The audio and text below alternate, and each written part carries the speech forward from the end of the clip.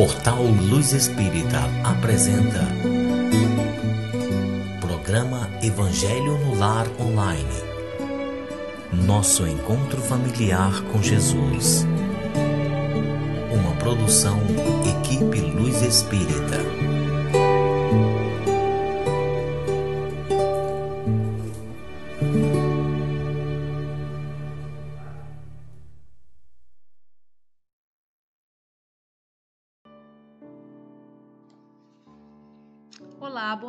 Noite, boa noite a todos vocês. Esperamos que todos estejam muito bem. Para quem não nos conhece ainda, eu sou a Janete, estou aqui junto com o Júnior, junto com a espiritualidade superior, para que possamos fazer um evangelho de muito amor. Pedimos que vocês deixem junto aos computadores ou aos celulares, conforme vocês estiverem nos escutando, uma garrafa com água para que essa água possa ser fluidificada pela equipe do Dr. Bezerra de Menezes no final do nosso Evangelho. Essa água, então, vocês podem estar tomando aos pouquinhos até o nosso próximo encontro, que será na quinta-feira que vem, às 20 horas. Lembrando que o Evangelho é sempre feito uma vez na semana, pode ser feito em família, pode ser feito individualmente. O importante é a união com o plano espiritual para que a gente possa trazer mais harmonia para dentro dos nossos lares. Agradecemos muito a presença de todos, agradecemos muito a contribuição da Maria do Carmo, sempre nos ajuda deixando um trechinho ali do, do Evangelho, né? E a gente agradece então essa corrente toda que se forma através dos nossos pensamentos, uh, através dessa energia boa, né, todos têm com a mesma intenção, e criando então uma atmosfera mais leve para que a gente, para que a gente não, né, para que a gente, que a espiritualidade possa trabalhar melhor. Então vamos agora elevar nossos pensamentos a Deus. Vamos esquecer dos problemas que tivemos durante esse dia, durante a semana, e vamos pedir então que seja um evangelho de muito amor, de muito aprendizado. Vamos então à nossa prece. Hoje eu vou ler a prece que fica lá no finalzinho. Olha ah, só, agora, agora o Darwin aparece, né? No é, dia no da live, ficou ele, dormindo. Não, ele não quis. É aquilo que eu falei para vocês, é o horário, né? Não adianta. Uh, eu vou ler então a prece que fica lá no finalzinho do nosso evangelho. Uh, como vocês sabem, né, eu faço sempre o Evangelho segundo o Espiritismo de Allan Kardec por Cláudio Damasceno, Damasceno Ferreira Júnior, por ser uma edição mais moderna. Fica mais fácil a nossa compreensão. E no final do Evangelho, vocês sabem que tem aquelas preces, né? Hoje, então, eu vou ler a prece uh, aos anjos guardiões e aos espíritos protetores e a prece 13 meu Deus, permite que os bons espíritos que me acompanham venham em meu auxílio quando estiver em sofrimento e me amparem se eu vacilar. Faça, Senhor, com que eles me inspirem a fé, a esperança e a caridade, que sejam para mim um apoio, uma esperança e uma prova da Sua misericórdia Faça, enfim, com que eu encontre nos bons espíritos a força que me falta para enfrentar as provas da vida, para resistir às sugestões que o mal oferece, a fé que salva e o amor que consola. Que assim seja. Vamos agora então à nossa leitura. Estamos dando continuidade ao capítulo 12 e o item agora é o item 9. É a vingança. Jules Oliver Paris, 1862. A vingança e o duelo são vestígios da bárbarias que tendem a desaparecer entre os seres humanos são costumes selvagens que fazem a humanidade sofrer. A vingança é um sinal da inferioridade dos seres humanos que a ela recorrem e dos espíritos que se juntam a eles para inspirá-la. Portanto, meus amigos, esse sentimento não deve jamais fazer parte do coração daquele que se diga espírita. Vingar-se é totalmente contrário ao ensinamento do Cristo que diz: perdoem os seus inimigos. E aquele que se recusa a perdoar não é espírita e também não é cristão. A vingança é um sentimento tão nocivo quanto a falsidade, falsidade e a baixeza, que são suas companheiras constantes, porque todo aquele que se vinga quase nunca o faz a céu aberto. Quando é mais forte, ataca ferozmente aquele a quem considera seu inimigo, bastando para isso a simples presença do desafeto para que, que cresça nele a cólera, a paixão e o ódio. Na maioria das vezes, ele toma uma aparência fingida, disfarçando, no fundo do coração, seus maus sentimentos. Seguindo caminhos escusos, persegue na sombra seu inimigo, sem que ele de nada desconfie. Espera o momento mais favorável para executar a sua vingança, evitando correr algum risco. Esconda-se, vigia o inimigo sem cessar, preparando-lhe armadilhas odiosas e quando surge a ocasião, derrama-lhe no copo o veneno mortal. Quando o seu ódio não chega a tais extremos, ele ataca o inimigo em sua honra, em suas afeições. Faz uso da calúnia e das falsas insinuações, que habitualmente semeadas ao, aos quatro ventos vão crescendo por onde passam Dessa forma, quando o perseguido se apresenta nos lugares onde a calúnia e as falsas insinuações já passaram, se admira ao encontrar rostos frios onde encontrava, antigamente, rostos amigos e bondosos. Fica surpreso quando as mãos que se estendiam para ele agora se recusam a cumprimentá-lo. Enfim, fica arrasado quando seus melhores amigos e parentes se desviam e fogem dele. O covarde que se vinga dessa maneira é cem vezes mais culpado do que aquele que enfrenta seu inimigo e o insulta pela frente. Parem. Desculpa, parem, portanto, com esses costumes selvagens pare com esses costumes de outros tempos. Todo espírita que se achar no direito de se vingar não será digno de figurar por mais tempo entre aqueles que tomaram por leme. Fora da caridade não há salvação. Recuso-me a aceitar a simples ideia de que um membro da grande família espírita possa ceder ao impulso da vingança em vez de perdoar. Olá pessoal, Parem da Janete foi tão forte que até ela parou, né? Uma, uma coisa poderosa. Bom, vamos lá. A gente já começa a ver que a vingança ela tem um efeito sobre o espírito humano, né? E é um efeito destruidor. E pelo que o nosso texto está dizendo, isso é só um costume que é bem antigo é do tempo das pessoas que não tinham o conhecimento do perdão, né?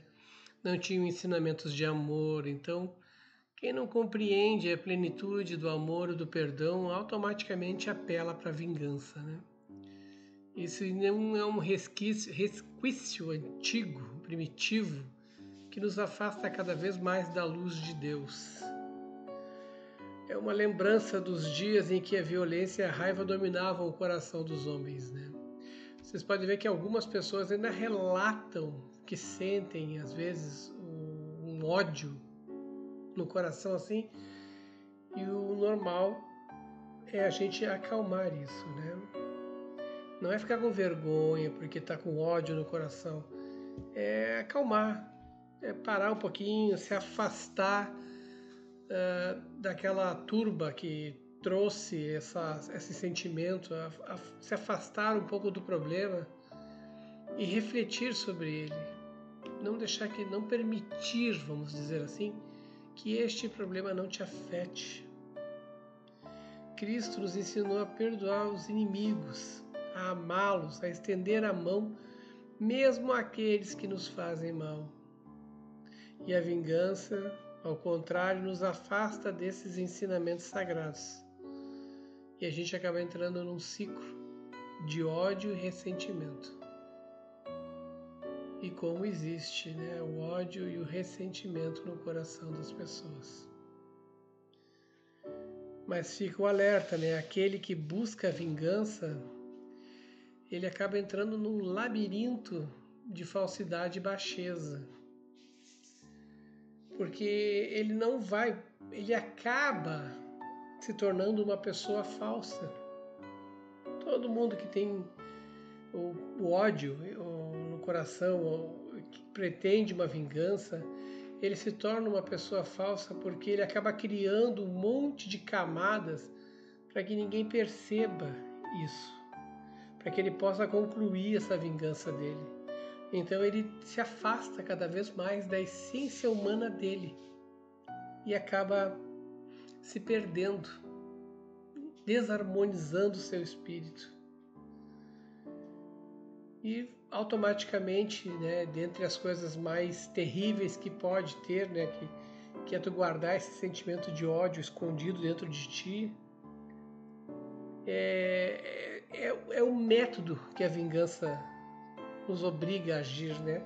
É sempre nas sombras, é sempre tramando, é, é sempre lançando mão da colúnia, da calúnia, é sempre o aspecto da traição e outras mesquinharias por aí.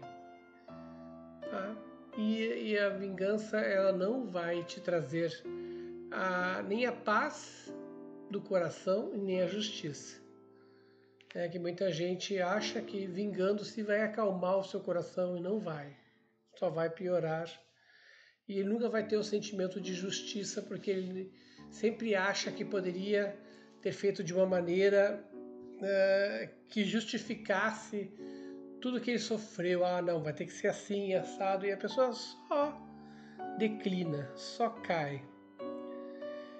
Então, para que a gente não fique nessa, nessa nesse ato primitivo, vamos dizer assim, esse costume, né? Vamos começar a abraçar a luz. Vamos começar a trabalhar mais o perdão. Vamos começar a fazer reflexão sobre aquelas pessoas que nos tiram do sério. Vamos olhar para elas, parar, sabe? Em vez de trazer esse ódio para dentro de nós e trair, para sozinho no canto e fala consigo mesmo: olha, Fulano, falando consigo, tá? Né, tu tá me afetando assim, assado, mas eu vou relevar tudo isso. É a tua oportunidade que tu tem de lidar com essa situação. Isso vai te trazer paz no coração. E mais adiante vai significar uma escadinha, né? um degrau na evolução espiritual.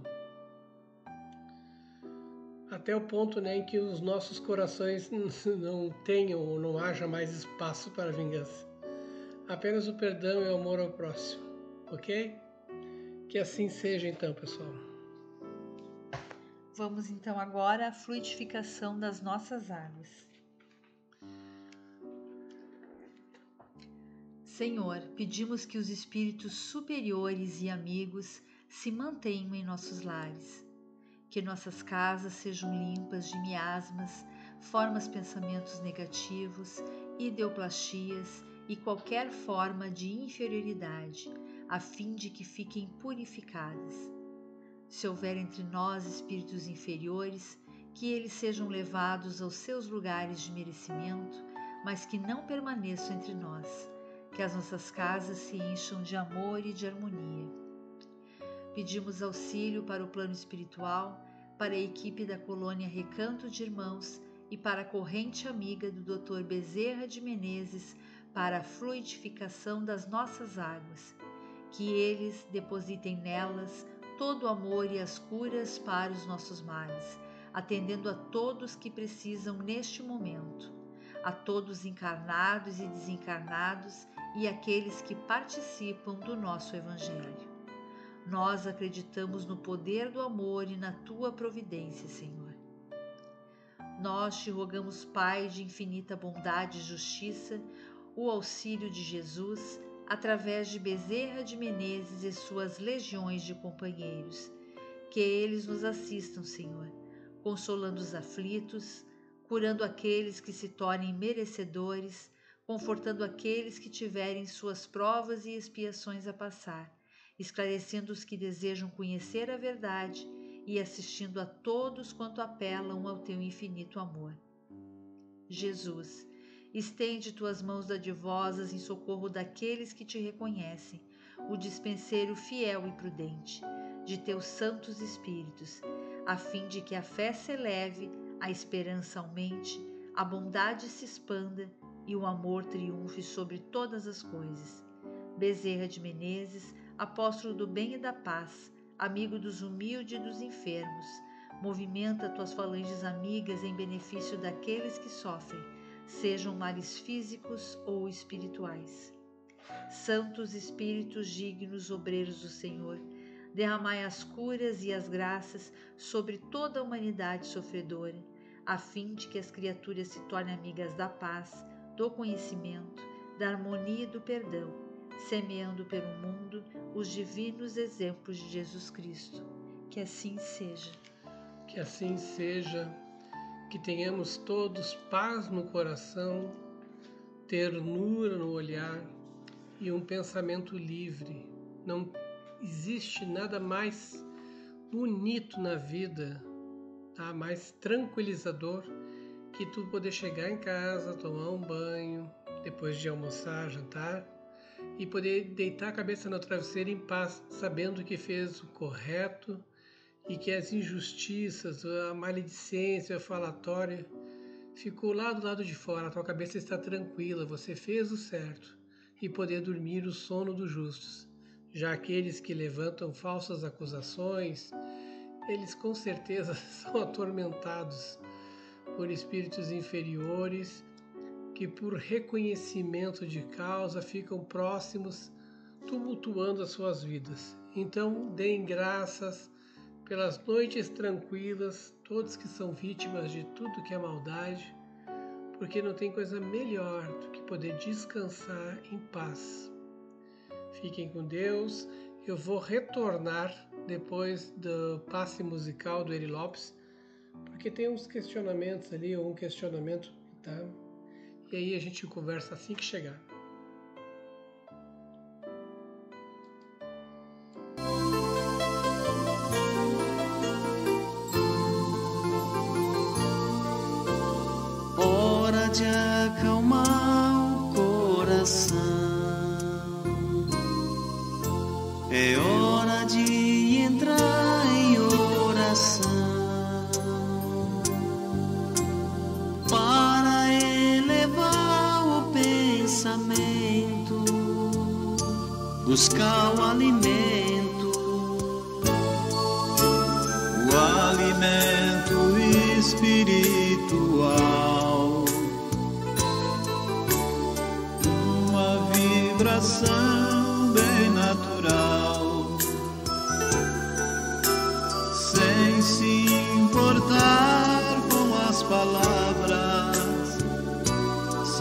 Somente se abra Pense em Jesus, que é tudo expressão de amor.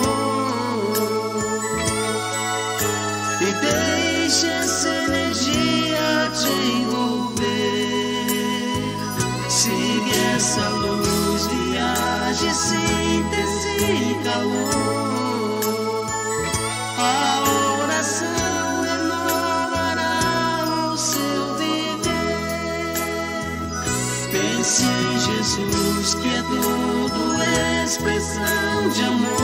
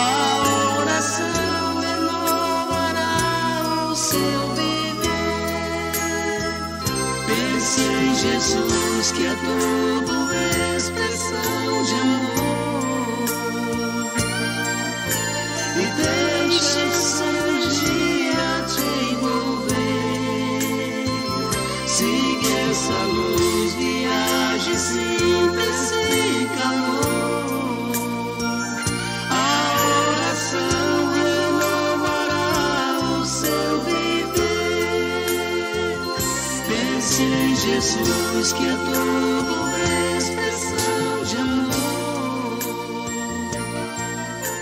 E te envolver. Luz.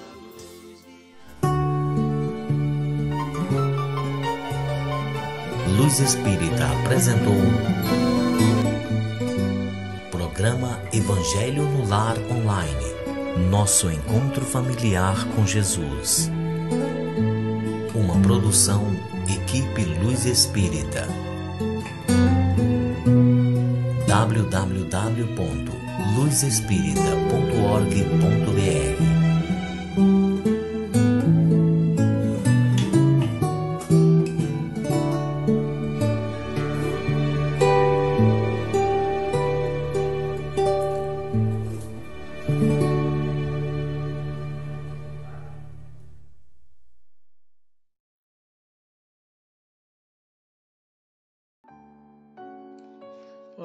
voltamos de novo. Antes de responder ali as questões, né, ou o questionamento que eu vi agora, os aniversariantes, né, é sempre bom, uma, uma alegria, uma festa, é sempre bom. A Fernanda, irmã da Erika Nish, Nishimori, Nishimori, acho que é japonês, acho, mas é bacana. Ah, Aniversário também da Edna Viana, ah, o Lucas da Conceição Ferreira, enteado da Babi Cardoso, parabéns, Babi. Ah, o Flávio e o David, o Flávio é o marido da Graziane Porto. Feliz aniversário então para os aniversariantes, né? Vamos ali. Olha, eu vi nos comentários o comentário do René Donato, eh, Donato, né? Que ele é professor e ele falou uma coisa que é interessante, né? Que tudo deve ser conversado, de preferência de modo cordial e educado.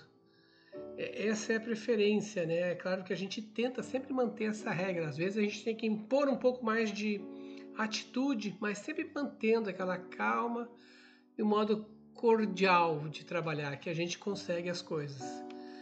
Que nem diria uma pessoa, um socal que eu conheci, que é muito boa, gente, ele sempre falava calma e elegância, calma e elegância.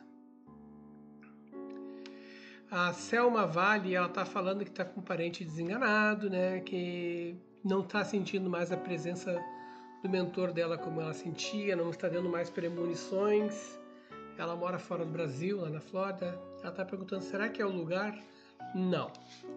Muitas vezes ah, o mentor ele realmente às vezes atua, mas às vezes ele fica fora de sintonia tua ali, da tua sensibilidade para ele poder atuar de alguma maneira ou outra. É aquelas coisas que ele vai ajeitando na frente os nossos caminhos.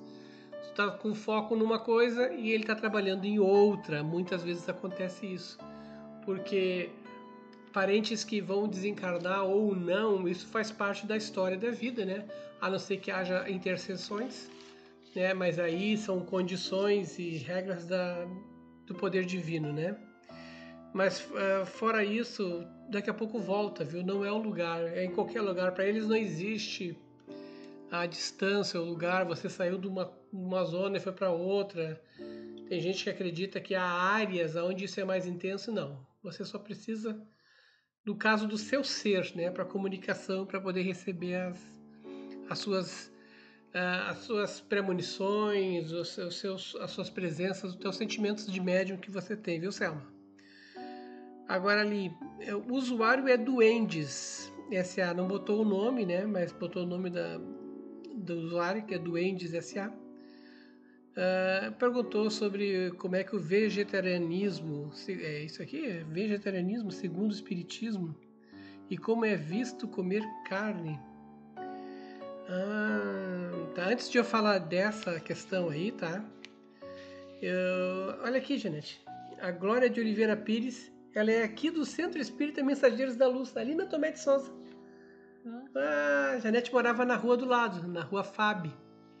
Quando eu conheci ela, quando eu comecei a namorar ela, já tinha esse centro espírita por lá não, né? Veio depois, ele veio depois. é. Tá? Ah, legal, nós conhecemos esse centro sim, tá? Já tivemos aí uma vez. Muito obrigado pela audiência, Glória. Tá? É um prazer tê-la conosco. Mas voltando ali, vegetarianismo segundo o espiritismo, isso aí é polêmico, né? O pessoal gosta de um assunto polêmico, né? Olha, o que, que eu posso te falar? É, não há um comentário direto ou explícito sobre o consumo de carne nas obras básicas, tá? Por quê? Porque Kardec focou principalmente em temas relacionados à natureza do espírito, a vida após a morte, a lei da causa e efeito, a evolução espiritual e aos princípios éticos fundamentais, tá? Mas assim, nós temos que observar um detalhe. Né? É, isso foi escrito no século XIX, né? Naquela época, o vegetarianismo não era tão difundido como nos dias de hoje. Hoje é comum. Tem até a- o vegano, né? É, que é uma pessoa que não absorve nenhuma proteína de origem animal, né? Tem o vegetariano que até ah, absorve algumas coisas, mas o vegano não. Hoje é bem difundido isso. Hoje nós temos tudo que é lugar tem isso, é uma opção, tá? Então é, não é de se surpreender que isso não conste nas obras básicas, né? Porque naquele tempo isso não era uma questão tão importante, né? Então temos que também entender isso. Porém há obras, né, futuras que falam mais desse assunto.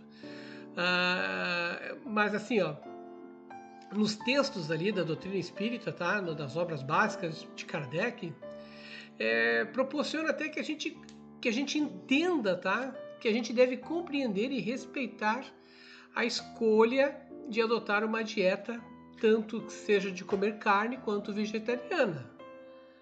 Entendeu? A gente tem que respeitar. Ah, eu quero comer carne, coma carne. Eu quero comer só vegetais, coma só vegetais. Tá?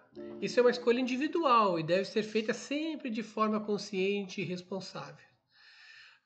Para alguém, o consumo de carne pode ser cultural. Aqui no sul, por exemplo, é muito comum. São Paulo, Mato Grosso, é, essa região que tenha muito gado, assim, churrasco, né? Isso é comum, é cultural, é tradicional até. Há uma necessidade alimentar disso. Mas assim, o importante é que, que essa escolha seja feita de forma ética e sempre respeitando o direito dos animais e buscando minimizar né, o sofrimento causado por nossas ações, tá? Até que muitos vegetarianos eles falam né, que escolhem essa dieta como uma forma de reduzir esse sofrimento dos animais, né? E prover um estilo de vida mais alinhado. Eu consumo carne, tá? O meu irmão e a minha cunhada, eu e a Janete consumimos carne, mas o meu irmão e minha cunhada ah, já. É, a Janete come bem pouquinho, é, quase nem come. O meu irmão e minha cunhada já estão largando da carne, né? Eles não, estão trocando esse tipo de alimento, né? São mais velhos, né? Eles também têm o centro espírita e estão abdicando, mas escolha. A gente respeita a escolha de todo mundo. Então, o- em resumo, tá, o consumo de carne de outros animais é, é visto como uma questão que envolve o respeito à vida, a responsabilidade moral do, do- do que nós vamos fazer, né? Tu não vai abater um animal de graça, sabe? Toda aquela história que tem sobre isso, né? Todo aquele conceito. Então, cada indivíduo deve refletir sobre a sua escolha, tá? Mas tem livros que falam sobre isso, tá? Que já não são das obras básicas, tá? Mas se você olhar lá no livro do Nosso Lar, eles vão falar sobre alimentação. Não é a, a- a- a- como é que a gente diz? Não é o princípio do livro, né? Mas eles falam sobre que a alimentação ali é baseada também em vegetais, em caldinho, né? Sopinha. Então, tá? O livro Voltei, do irmão Jacob, que o Chico Xavier psicografou, tá? O espírito do irmão Jacob ab- aborda a questão da alimentação, tá? Em um contexto mais amplo, dá uma olhadinha lá, quem quiser conhecer, tá? Inclusive, ele faz até reflexões sobre os hábitos de consumos alimentares humanos, né? O Consolador de Emmanuel, uhum. o Consolador de Emmanuel, então ali ele traz alguns ensinamentos sobre a evolução espiritual e a importância de uma conduta ética e compassiva. Uh, o Chico Xavier, Chico Xavier não, o Divaldo Franco, psicografando a Joana de Ângeles nos livros Plantas que Curam. Em, ele não vai falar sobre alimentação, mas ele vai abordar os benefícios das plantas. E agora um livro que é espiritualista, tá? Que é Veganismo, as razões do coração, uh, do Gustavo Guimarães também, tá? Ele fala sobre o ponto de vista ético e espiritualista, tá? entenderam? Então tem literatura que fala um pouco mais sobre isso, tá? Ok? Fiquem todos com Deus, a paz de Deus e até o nosso próximo encontro quinta-feira que vem, pessoal. Ótima semana a todos vocês. Eu vou botar depois o link da, da live lá para quem quiser assistir, tá? A live que foi agora no domingo. Boa noite.